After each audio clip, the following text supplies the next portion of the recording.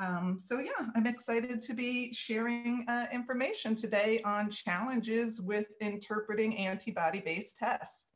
Um, this is a phenomenon that we uh, frequently see in the laboratory uh, nutrition and laboratory wellness setting, um, how to interpret tests that antibody-based tests that have um, hypo and hypergammaglobulinemia.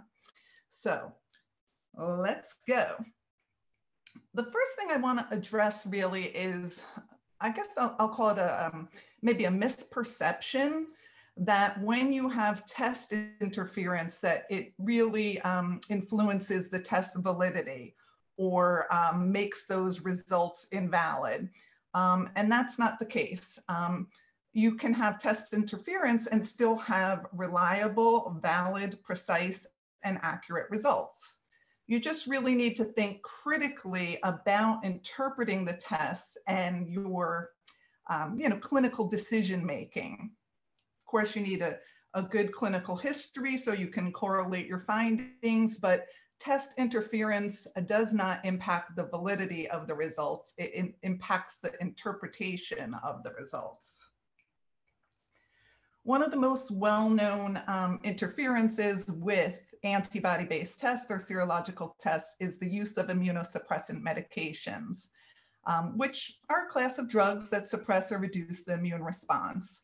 Steroids are the most common class of immunosuppressants, whether they're um, administered via different routes, such as oral, inhaled, or IV, um, but there are other classes that also have an immunosuppressant um, effect, other classes of medications, including JAK inhibitors, uh, calcineurin inhibitors, mTOR inhibitors, um, IMDH inhibitors, biologics, and monoclonal antibodies. Because immune suppressant medications may lower total immunoglobulins, uh, patients should wait approximately 30 to 60 days after discontinuing immunosuppressant medications or test total immunoglobulins prior to ordering antibody-based tests. And I hope you heard the emphasis on the approximately 30 to 60 days because the immune response is so highly variable um, that we can't really give an accurate predictor of how quickly people will recover after the, immuno, uh, the use of immunosuppressant medication. Providers needing more information on immunosuppressant medication can visit drugs.com to look at the classes of immunosuppressants and uh, the generic or um, uh, you know um, uh, generic classes of drugs that fit into those categories. Another common um, interference with serological tests is the use of intravenous immunoglobulin G therapy or IVIG. When you're administering uh, IG immunoglobulins, IgG immunoglobulins, it can have the potential to cause hypergammaglobulinemia, uh, which leads to uh, false highs or false positives on serologic tests. Again, this doesn't invalidate the, the test results. It just requires critical thinking in interpretation and decision making. This is a nice paper uh, you may want to access online uh, that goes over the challenges with IVIG use. So there are causes of low and high total immunoglobulins um, that should be considered when your results uh, return um, either a high or a low total IgA or IgG or IgE. Um, the first thing to consider when exploring causes of low total immunoglobulins um, are conditions that can cause an abnormal loss or uh, an increased catabolism of immunoglobulins. That can include nephrotic syndrome or other you know, severe renal diseases, um, burns, sepsis, protein losing enteropathies, GI enteropathies, or um, you know, more concerningly, like an intestinal lymphangiectasia. Uh, conditions that uh, uh, will affect your immunoglobulin production are what we see more commonly in the ambulatory setting or the wellness uh, testing setting, such as malnutrition or um, abuse of alcohol that can also contribute to uh, lower immunoglobulin production Also, some of the drugs I mentioned earlier, the immunosuppressive drugs, chemotherapy agents, uh, malignancies can also contribute to low total immunoglobulins, including uh, chronic lymphocytic leukemia, lymphoma, multiple myeloma. Very commonly at Vibrant America, we do see uh, many, many of our uh, tested patients do have rheumatological diseases, um, including rheumatoid arthritis or systemic lupus erythematous. Um, so with lupus, rheumatoid arthritis, we will you know, often see lower total immunoglobulins. Um, and then viruses, we do test, uh, offer a viral infection panel that has Epstein-Barr virus, cytomegalovirus, many of the human herpes viruses, and all of these uh, viral infections can impact uh, total immunoglobulin production. From a high total immunoglobulin perspective, things to consider are um, what can cause an increase in immunoglobulins, uh, a polyclonal increase in one or all of the classes of immunoglobulins. Usually if there's just one class of immunoglobulins high or low, it's easier to interpret uh, your serologic tests, the more classes that are impacted, uh, then the greater the potential for you know false positives or false negatives. Uh, but again, it doesn't invalidate the findings. It just really requires a more kind of critical thinking approach. So some of the conditions that you'll see with high total immunoglobulins, uh, which we routinely see here at Vibrant are again, infections. And, and that's uh, the beauty of the immune system um, you know, many viral infections can cause both low and high total immunoglobulins, depending upon where it is in the timeline of infection, early or late, convalescent period, et cetera. Uh, connective tissue diseases, again, similar to causing low total immunoglobulins, may also cause high total immunoglobulins. Um, autoimmune hepatitis, primary biliary cirrhosis, um, hematological disorders, non-hematological malignancies, and if we're seeing monoclonal increase in one class uh, without a decrease in the other two classes, you may want to consider workup for, you know, um, a multiple myeloma or uh, leukemia, some of the hematologic um, malignancies essentially, um, or uh, primary systemic amyloidosis. So just a further immunological workup more often than not, what we see at Vibrant really is um, hypo or hypergammaglobulinemia related to infections, most commonly autoimmunity and uh, immunosuppressive medications or IVIG. I would say those are the kind of four scenarios that we see the most commonly with test interpretation. I do want to comment on uh, the impact of malnutrition on humoral uh, immune function. I know some of our uh, thought leaders that are presenting later in the day will be, uh, you know, certainly discussing more clinical applications, but um, it would be remiss of me not to comment on the, the impact of malnutrition on humoral immune function um, before I move on more to interpretation of tests. So malnutrition will lower secretory IgA. It will also increase intestinal permeability, stimulate immune complex formation, contribute to the formation of IgG food antibodies, uh, lead to complement levels decreasing, which in turn will influence opsonization of antigens that will decrease and contribute to inflammation and cytokine activation. And it's a pretty uh, kind of vicious cycle, if you will. So one of the things you can certainly consider, or a few of the things you could consider for um, kind of reversing that uh, malnutrition effect on humoral immune function would be uh, consider colostrum, proline-rich peptides, collagen, and antioxidants for immune and cytokine modulation. So again, I'm not focusing so much on the clinical applications today, but more the test interpretation. So let's take a look at some common scenarios that we see here at Vibrant America. Um, when you are reviewing a report where you have a high total IgA or IgG, or if you have a low total IgA or IgG, The, the key key determinant that you really want to look at to determine to interpret the results and apply them to your patient um, and your clinical interventions and decision making really is is there variability in the specific IgA IgG results? So, for example, if you have a high total IgA or IgG, if you see that most or all of the specific IgA IgG results are high, well, then yes, you want to suspect interference. If your total IgA or IgG is low, and again, you see most or all of the specific IgA, IgG results high, mm, yes, then we're going to again suspect interference. However, alternatively, if you have a high total IgA or IgG, and yet you see some specific IgA or IgG results are normal, some are moderate, some are high, well, then you've got likely true antigen antibody reaction.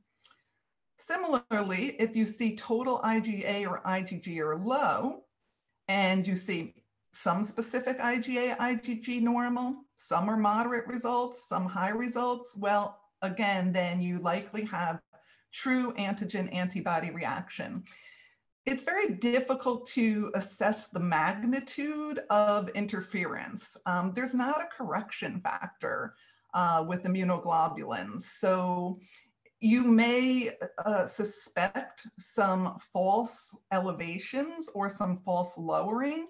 But again, you really want to look for the variability in the results. And while you may not be able to conclusively determine the degree or magnitude or effect uh, effect size of the false elevation or false lowering. Again, if you really see that variability, then you can determine that you're really looking at true antigen antibody reaction.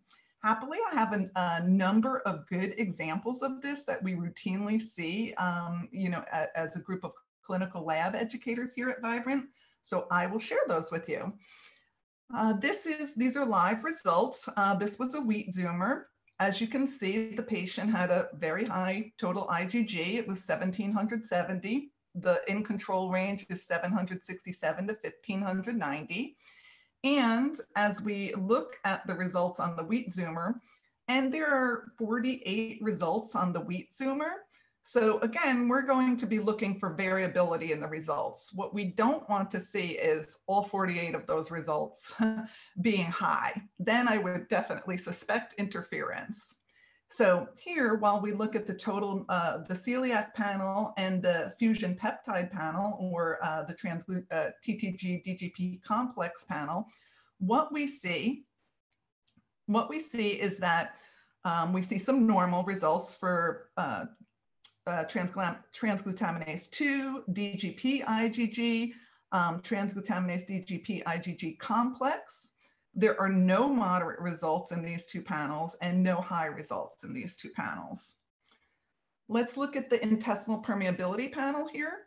Uh, we do see that um, there is a high anti-zonulin antibody, a high anti-actin antibody IgG, and a high anti-LPS IgG and IgM. There are no normal, um, I'm sorry, there are no moderately elevated results. Uh, there is a normal um, zonulin, anti-zonulin IgA, um, and anti-actin IgA, but again, we're just focusing right now on the, the total IgG and the specific IgG levels. If we look at the transglutaminase panel, the, uh, the specific IgG for transglutaminase 3 and transglutaminase 6 is normal. And in the wheat germ agglutinin panel, you do see that the wheat germ agglutinin IgG is high. In the gliadin panel here, now you see um, a number of results that are a number of specific IgG levels that are high, including alpha gliadin, alpha beta gliadin, gamma gliadin, omega gliadin, uh, IgG, and then low molecular weight glutenin IgG. However, you do see uh, gluteomorphin IgG is normal and glutenin IgG is normal. In the non-gluten wheat panel here, Uh, we see purinin IgG is moderately elevated, serpin IgG, farinin IgG, amylase protease inhibitor IgG, and globulin IgG are elevated. So what can we conclude after we looked at these 48 um, results on the Wheat-Zoomer test? Well, we have some normal and well-controlled, including at the lower end of normal, transglutaminase 2, DGP, transglutaminase DGP complex, transglutaminase 3, transglutaminase 6, gluteomorphin, and high molecular weight glutenin IgG antibodies. So in this example, it's reassuring. The, these antigen antibody, um, there's no reactivity, so it's clearly not interfered with from the high total IgG. We're not seeing false elevations in the specific IgG for those antigens. Given the many normal and well-controlled IgG autoantibodies, clinical interpretation is that, the, is that the high antigen-specific IgG antibodies to most but not all of the gliadin, glutenin, and non-gluten wheat proteins does in fact reflect true gluten sensitivity and wheat sensitivity.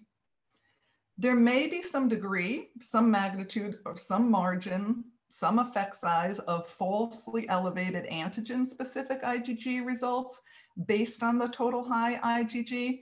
Again, there's no correction factor, so it's a little inconclusive how falsely elevated they are, but since we saw such normal and well-controlled autoantibodies, again, we're seeing variability here. And that's what we really want to see. We want to see variability in the antigen-specific IgG results. In this instance, we would recommend repeating um, total immunoglobulins and the Wheat-Zoomer in six months. Now, here's an example of a Zoomer bundle where they, uh, the patient was tested for wheat, dairy, corn, egg, and soy, and had a low total IgG. So as we look through these, these, these food Zoomers, again, we really wanna look for variability in the specific IgG results. Here on the wheat zoomer, what we see is uh, for normal results are transglutaminase 2 IgG, DGP IgG, uh, transglutaminase DGP IgG complex, uh, lipopolysaccharide IgG, transglutaminase 3 IgG, transglutaminase 6 IgG, and gluteomorphin IgG. All of those are normal. Um, however, you do have a moderately elevated high molecular weight gluten glutenin IgG and a number of high specific IgG results, including zonulin, actin, wheat germ agglutinin, um, alpha beta gliadin, omega gliadin, uh, protein, low molecular weight glutenin, serpin, farinin, amylase protease inhibitors, globulin, and purinin. So you have a number of high, highly elevated specific IgG results. So despite the low total IgG, you're actually seeing that this person is able to mount a um, very clear and very distinct um, immune response to those specific antigens, yet not mounting a, an immune response, an abnormal immune response to many of the autoantigens or to gluteomorphin, which is um, formed in the intestinal tract during the degradation of gliadin. So we're seeing nice variability here. So again, even though we've got this um, hypogammaglobulinemia, you know, we are definitely seeing some normal, some moderate, and some high results. Let's look at their dairy zoomer. Again, here we have this low total IgG, but you can see this very, very, very, very highly reactive, um, you know, dairy zoomer. Uh, I believe we test for 13 casein and whey um, antigens on this test. And as you can see, all of them are reactive. Um, so, you know, this might have been if, if the person had, um, and again, this is a low total IgG, you know so here we're really seeing although we're seeing no variability as far as normal um, we're seeing you know a number of moderate and positively elevated responses. So again while they are not able to make enough total immunoglobulin G, they certainly are mounting a very um, discriminatory immune response to casein and whey proteins. So um, that's the beauty of, you know, uh, kind of test, don't guess. You know, so often providers will say, well, you know, I'm reluctant to do um, these food zoomers because my patient's immunosuppressed. Or they've had IVIG therapy, you know, whether we're worried about hypo or hypergammaglobulinemia, I can't tell you how often we really see these variability of results. Um, you know, the immune system is so, so highly discriminatory. So um, I find the more results you have, the better it's able to really assess for this variability. Say you just have one Zoomer, like the wheat Zoomer, you know, um, you may question, but once you have four Zoomers and you go through, you know, sometimes, you know, uh, 120 results and you see that maybe, you know, 30 are moderately elevated or um, moderately or positively elevated and 90 are normal, well, you know, again, then you can say, hmm, I don't believe the hypogammaglobulinemia or the hypergammaglobulinemia has interfered with these results. I suspect true antigen antibody um, reactivity. Now here, same person again, here's the corn zoomer um, that was done. And look at this. I mean, you know, sometimes I open these zoomer bundles and I'm just, you know, um, constantly amazed at the human immune system. Like here, zero reactivity to corn um, you know, none, you know, to, to none of the corn antigens, including the pollen antigens, which we see so many people reactive to. In clear contrast with this dairy zoomer where they're reacting to every dairy antigen. And on the same person, this is their zoomer bundle, this is their egg zoomer. And again, low total IgG, but now look at their reaction to all of the, you know, egg white antigens and the egg yolk antigens. Everything is positive across the board. Um, so, you know, it's just so hard to predict a person's uh, immune response. You know, here we've got someone who has, you know, some immune suppression, yet their immune system is clearly viewing egg white and egg yolk as you know uh, something to target for further destruction. So the soy zoomer now here zero reactivity. So again, you know low total IgG, but all results are normal. So we've really seen quite quite a, a wide range of um, reactivity for this person.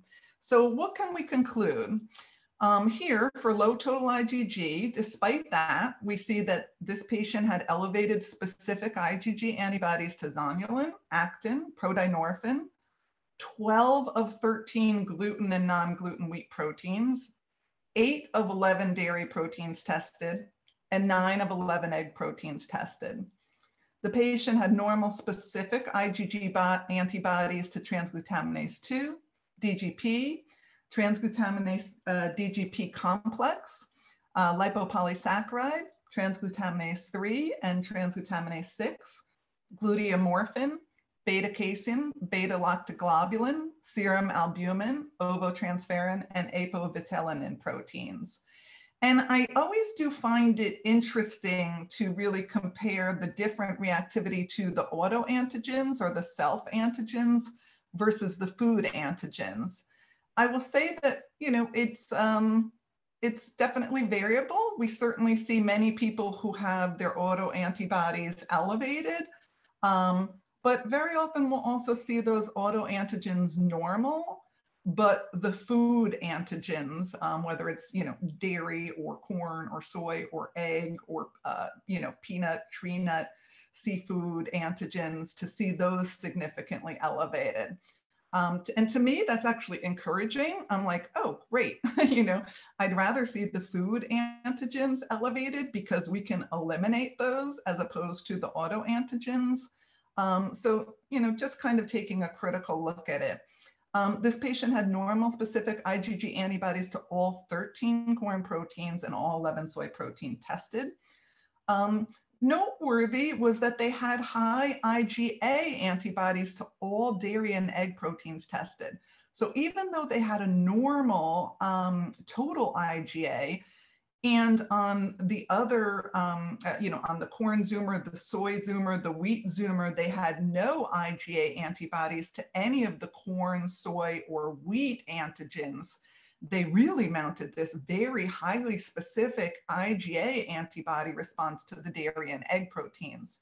So I always, you know, think that's much more clinically significant and, um, you know, we'll often convey that to the patient that you know, from an educational perspective that your immune system is being so discriminatory towards dairy and egg that it's actually mounting, um, you know, two antibody responses to it, sending out two antibody classes to target it, um, that food antigen for destruction.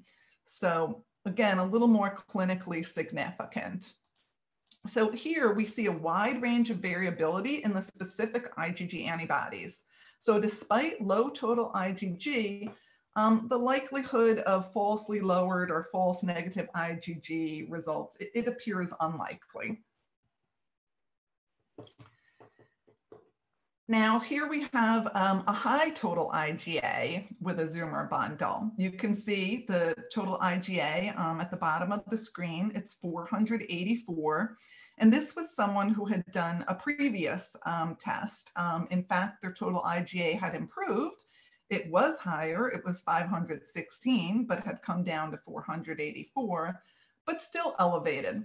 So again, many of our providers would be questioning, you know, um, how does this influence the results? Does this mean it's invalid, which I've emphasized it's not?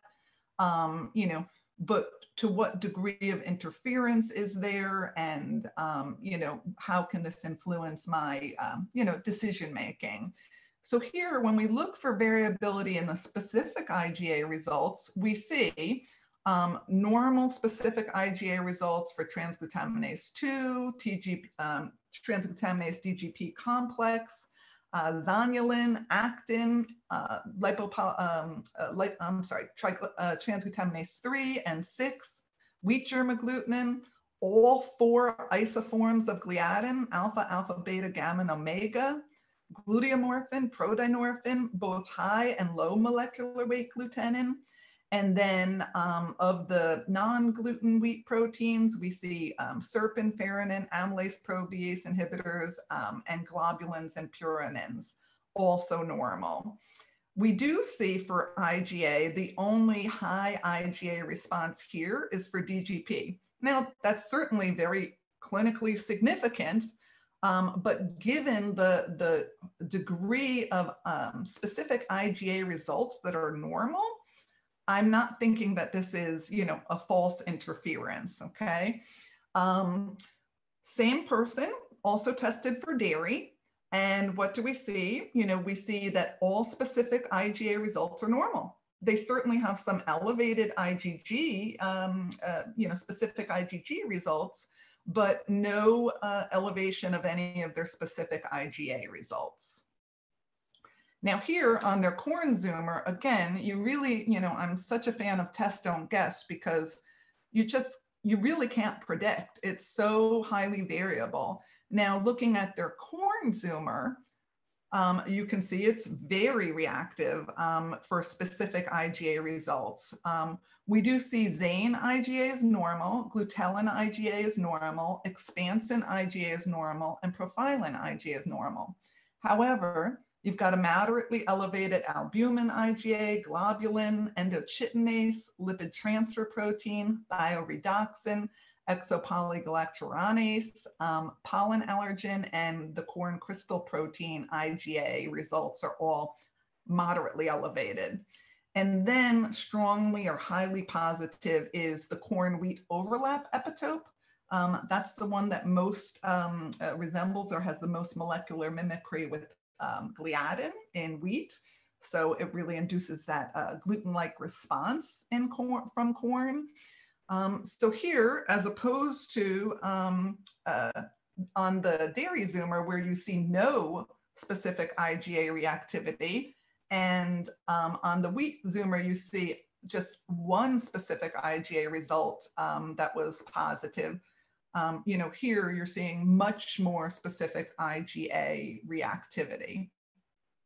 They also did a nut zoomer and zero IgA, specific IgA reactivity. All specific IgA results were normal. Um, so conclusions. Well, on the dairy zoomer, despite high total IgA, all antigen specific IgA results were normal. On the nut zoomer, ditto, same thing. The wheat zoomer, we did see almost, all antigen specific IgA results were normal. 21 of the results were normal, and you had only one antigen specific IgA result elevated. But again, very clinically noteworthy that it's DGP IgA. So, you know, uh, you know, high clinical suspicion for celiac. The corn zoomer as um, noted earlier, shows much, much more specific IgA positivity compared to the wheat and dairy Zoomers. Of the antigen-specific IgA results, four were normal, eight were moderately elevated, and one was positively elevated. This likely reflects true IgA sensitization to these corn peptides, though, again, there may be some degree, again, some kind of magnitude or effect size um, of uh, or, or kind of margin of falsely elevated results. Again, we can't, um, there's no correction factor, we can't predict, but given the very high variability that we've seen in these specific IgA results, the overall conclusion is that basically, despite high total IgA, the Zoomer bundle had mostly normal antigen specific IgA results. It is definitely possible that a few of the moderate and positively elevated results may be falsely elevated, but again, it likely reflects true IgA sensitization given the majority of normal specific IgA results. So what happens, I do want to comment, this is a common question um, in regards to uh, when will I expect these results to normalize? Um, you know, once we have this antigen anti antibody binding, what happens next? Um, and I always think of antigen antibody binding as um, kind of like a lock and key or a puzzle piece um, mechanism. You once they bind, they're they're kind of very for um, uh, kind of very firmly uh, bound together, and then they have to be broken down by either the liver, the spleen, or the complement system and they can, the antigen antibody complex can linger for some time in the body. Um, once it's bound, basically, you know, uh, it, it signals the immune system to target that antigen for destruction, either by opsonization or by phagocytosis or um, by cytolysis or um, antibody dependent cellular cytotoxicity by natural killer cells or neutralization of the exotoxins or the viruses, um, or agglutination of microorganisms, immobilization of bacteria and protozoans for the infectious antigens, um, you know, for the viruses and bacteria and protozoa, different than for your food antigens, um, promotion of inflammatory response, and sometimes formation of immune complexes. So the most common question that uh, um, you know we hear in the clinical lab education setting is like, how long will it take for these um, you know antigen antibody um, complexes to uh, disappear, if you will, from uh, blood, you know, um, especially upon elimination of the food antigens, different than the infectious antigens or the autoantigens. And I wish I had a clear, good, um, black and white answer. Um, as you know, in um, medicine and health, um, and I, I, believe it's true in laboratory science as well, um, while laboratory science is definitely a very, um, you know, black and white and kind of quantitative science, you know, everything is very highly, you know, mathematical, you know, very precise, you know, calculations. Unfortunately, while laboratory uh, science is a very kind of black and white um, field, the interpretation of it is really 50 shades of gray. So you could give the same, you know, um, the, you could have three people who have the same uh, results, uh, roughly, and one person might recover. Their, those antigen-specific antibodies might normalize in three months upon elimination of the food antigen or the environmental antigen or elimination or avoidance. Um, for someone else, it might take as much as six months. Another person, it could take nine months, could even be a year.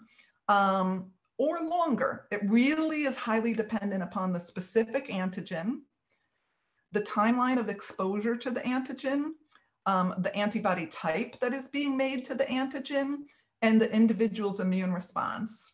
And because each individual can have, you know, a, a very clinic, you know, um, a clinical history that varies from, you know, uh, well on the wellness spectrum to very ill on the illness end of the spectrum and have multiple uh, you know comorbidities you can really see a very highly highly variable immune response.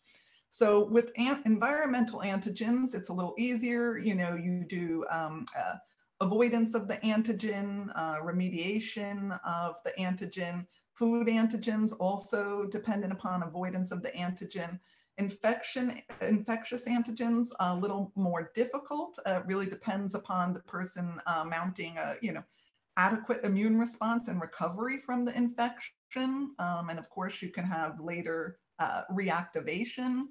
Um, with autoantigens, definitely um, uh, longer time you can see it can take for those antibodies um, to return to normal. Um, sometimes it you may not see them return to normal. Um, you really can't avoid your autoantigens or your self antigens. Um, so, you know, in autoimmunity, where it's characterized by phases, right? You have, you know, initiation, propagation, resolution or remission, uh, relapse, where you have exacerbation or flares.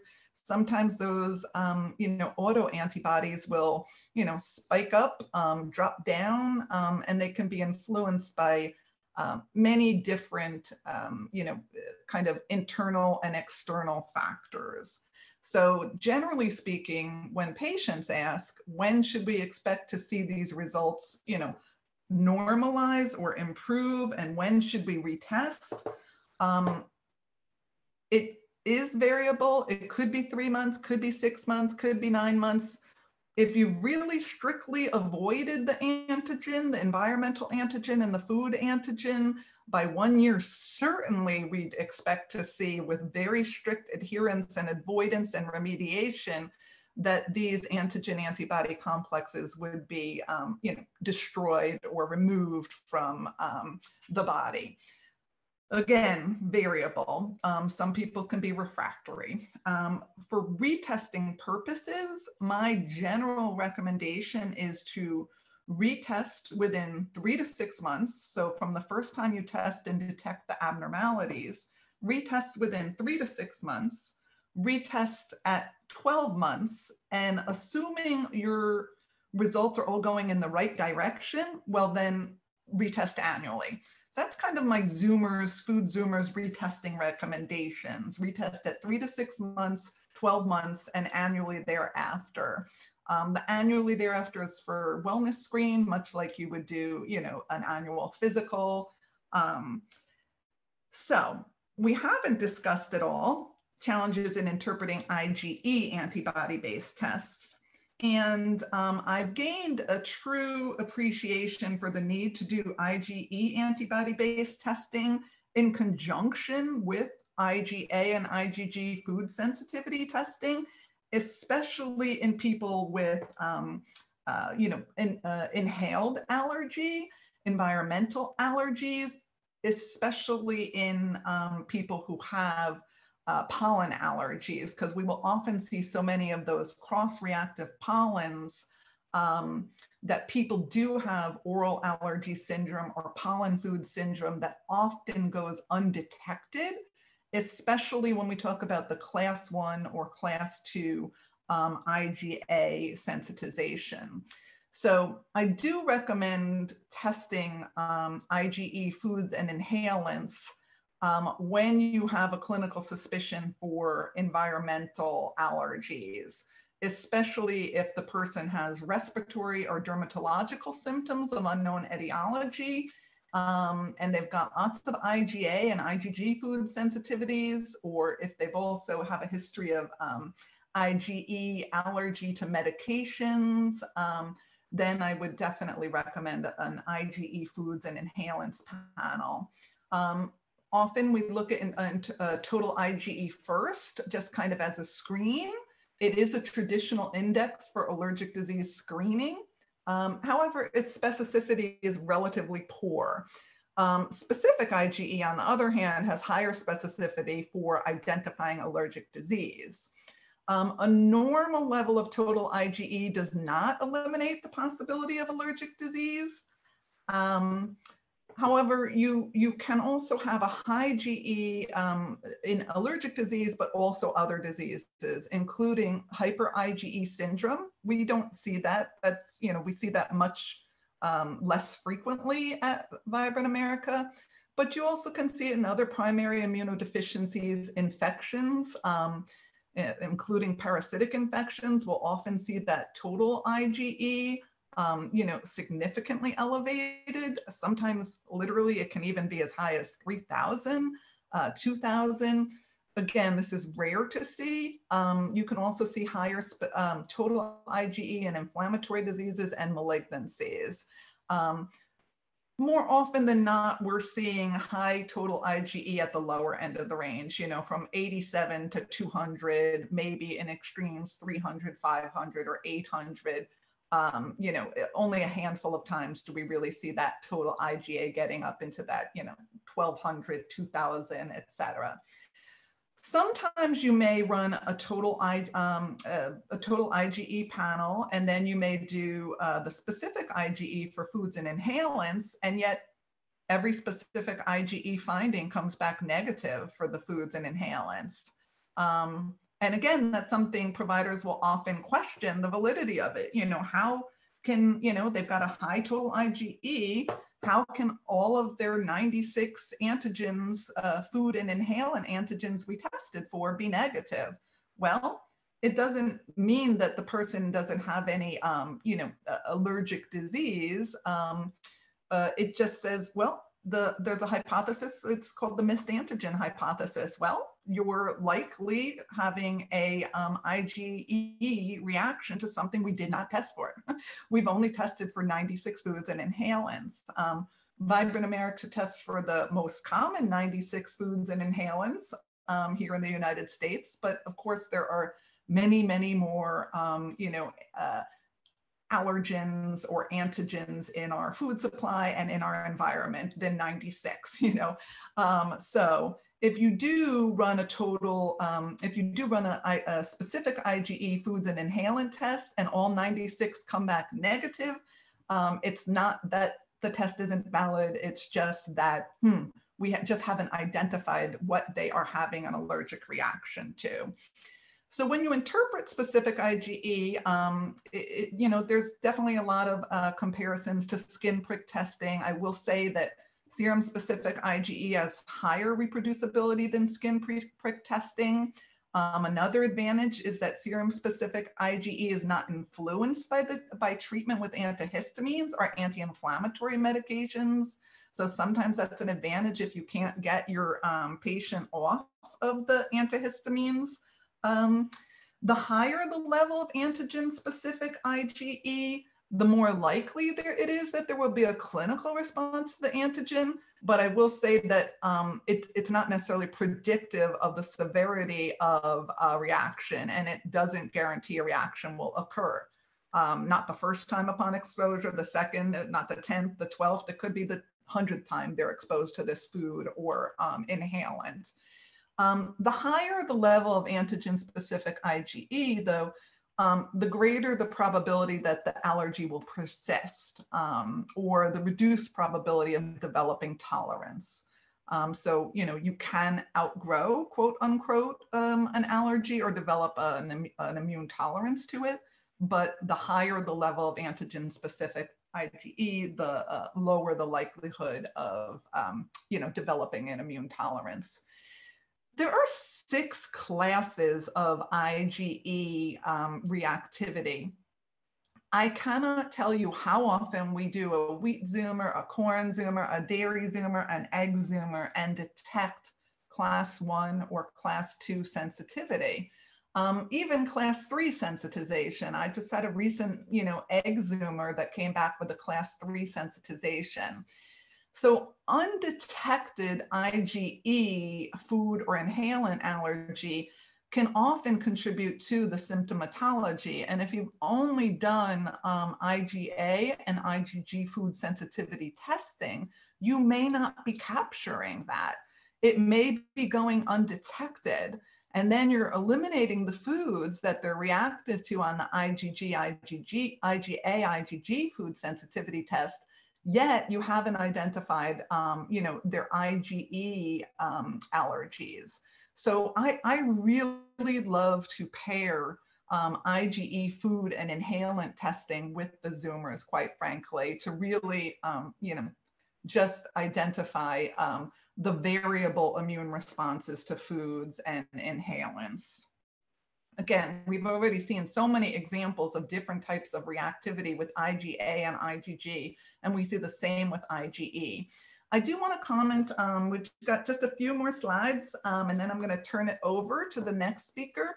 I do want to comment on antigen variability between labs because a very common challenge that comes up in interpreting uh, serological um, tests is someone will say, well, you know, um, my patient tested um, positive previously for, um, you know, a specific food or inhalant, but when we did the Vibrant test, they tested negative to it. Um, how can that be? Well, uh, there can be a number of um, reasons for that. One is antigen variability between labs. Um, for our food sensitivity test, Vibrant uses only FDA approved purified natural or recombinant antigen extracts on the food sensitivity test. Um, we have, there is considerable, you know, uh, just look in the kind of uh, scientific literature, you'll see there's um, considerable variation has been found when you compare food antigen extracts due to differences in extraction processing method, preparation, including heat treatment and storage. So it's really difficult to compare allergy test results um, or food sensitivity test results without knowing the specific antigen source material.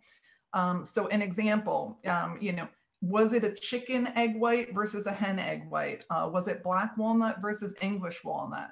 Was it catfish fillet with the skin versus catfish fillet without the skin? Um, was it boiled and frozen Atlantic shrimp mix versus, you know, raw frozen white, brown, pink shrimp mix? Um, for, you know, birch tree, is it white or silver or black birch? Um, uh, oak tree, white versus black oak.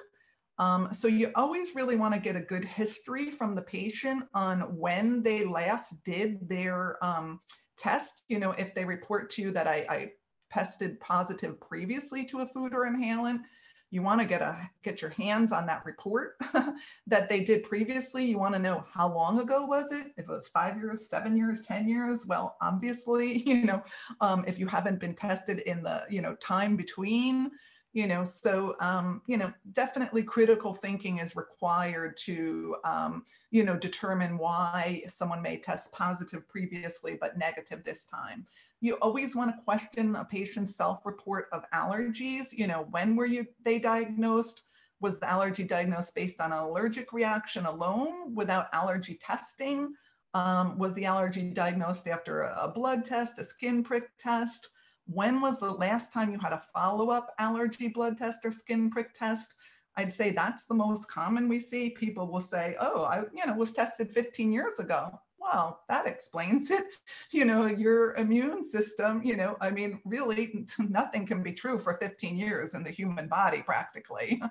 Um, and you always want to ask, do you have a copy of that allergy, te allergy test result with the specific antigens that were tested? you know, key points are really that specific IgE levels can increase, decrease, and or normalize over time depending upon the antigen exposure and many other physiological factors.